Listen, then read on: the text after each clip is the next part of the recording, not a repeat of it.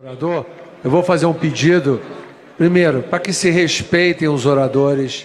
Da prisão que nós vivemos, enojados no meio da mentira, da corrupção, da inverdade, da irresponsabilidade, do gosto pelo poder, pelo poder, sem se preocupar com aquilo que vai acontecer na vida brasileira os brasileiros, especialmente com os mais pobres. É isso, senhor presidente. Temos a confiança. Senhores deputados, os senhores são os nossos libertadores. Os nossos libertadores.